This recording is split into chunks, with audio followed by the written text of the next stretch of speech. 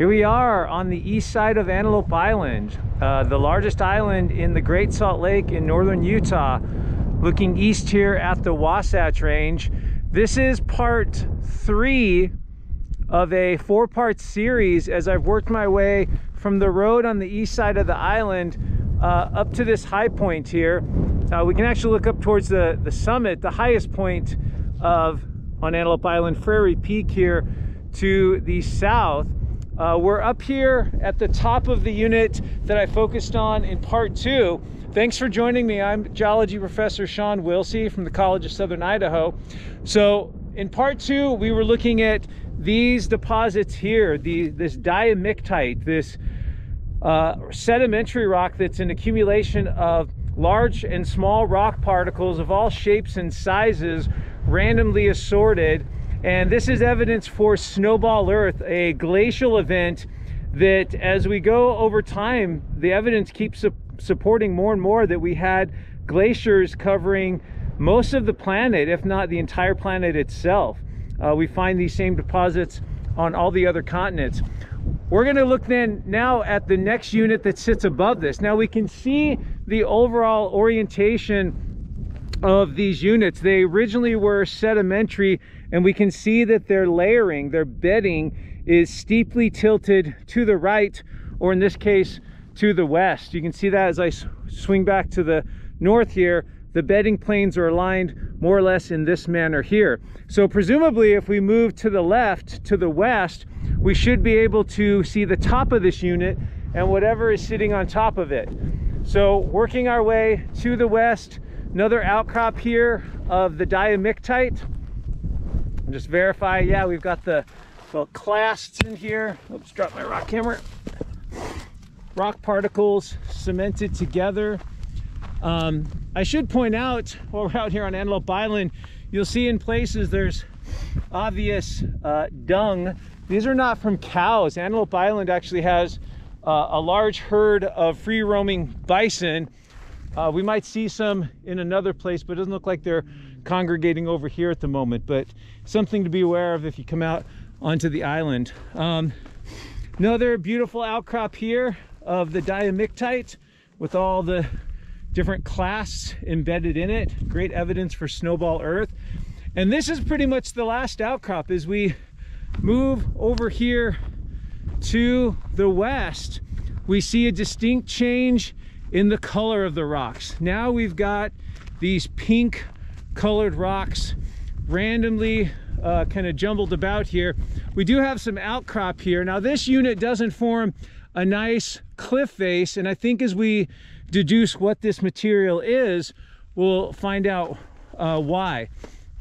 So let's just come over here to a nice surface uh, and give it some good observations here.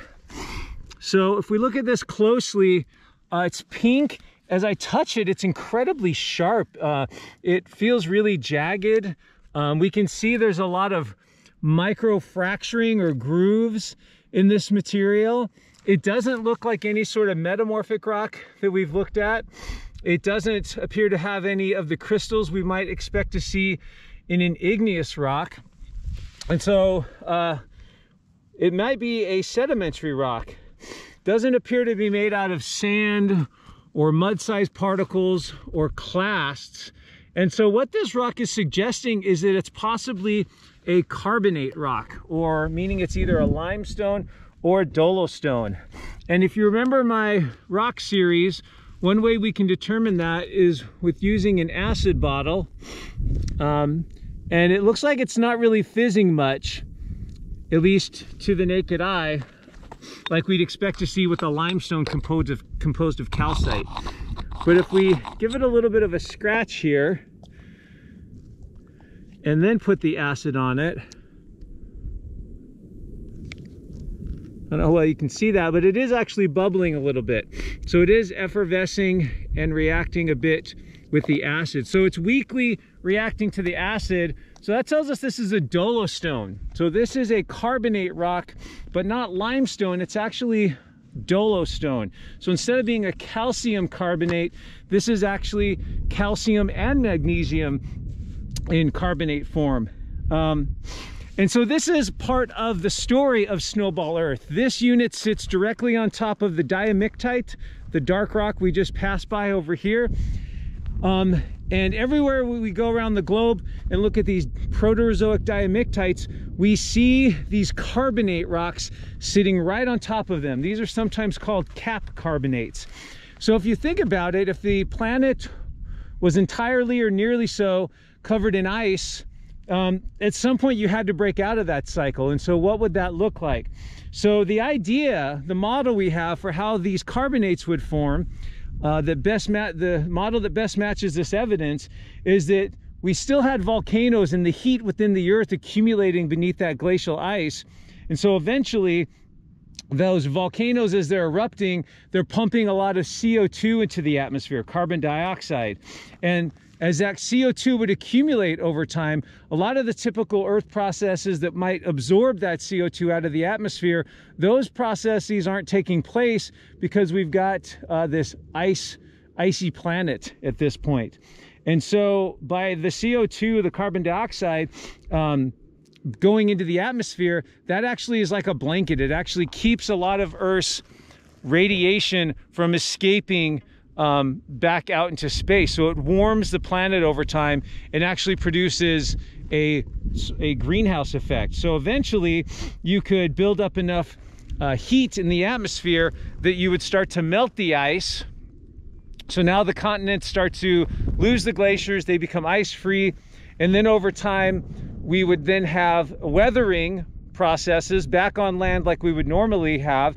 And those weathering processes now are carrying sediment um, and other material out to the ocean. So by rapidly uh, and intensely weathering the continent, you could build up the amount of carbonate that's out in the water, uh, and that would deposit these carbonates like we have here with this cap carbonate, this dolostone. Um, and hopefully I got that right. The chemistry's uh, slightly above my pay grade, um, but I believe that's, that's the model we have for these. So we can see that this, this dolostone, this carbonate material isn't hugely extensive here. And this makes sense why it would be pretty weathered, right? It's a carbonate, so it's prone to chemical weathering. When it rains or snows out here on the island, um, that actually dissolves some of the material. And that's why that outcrop I put my hand on uh, was a little bit rough to the touch had those little kind of grooves in it is that some of the chemical weathering that's going on here. So we've worked our way mostly up the ridge. We've got one more destination to go, which we'll get to in part four. Uh, at some point, we might also discuss some of the other cool features on this island, like these shorelines that we can see here from the rise and fall of ancient Lake Bonneville when this was uh, under a large freshwater body of water. We can see a nice pronounced um, shoreline just over here looking to the south. So we'll go ahead and head up to our final destination uh, for part four. Hopefully you've been enjoying these little videos here on Antelope Island, one of my favorite places to be. And um, encourage you to, if you feel like you can, continue to support the videos. There's a donate button on the banner of the YouTube page there is a little thanks button to the lower right of your viewer and under the video description there's a couple ways that you can donate as well. Oh and one last thing there's actually a, a pit that was dug up here um, and I hunted around wondering what what would they be actually looking for here and I think I found the answer. There is here on the dolostone some greenish staining on the rock, you actually can see a, a, darker coating over here. And these look like copper minerals. That's probably uh, chrysocolla, a copper silicate. Um, I don't think it's malachite. I tried it with the, the, acid bottle and didn't react. So possibly someone had uh, at one point saw a little hint of copper bearing minerals and excavated a little pit here. Um, probably didn't find much more beyond that. So anyway, we'll go head up the ridge and continue on at stop four.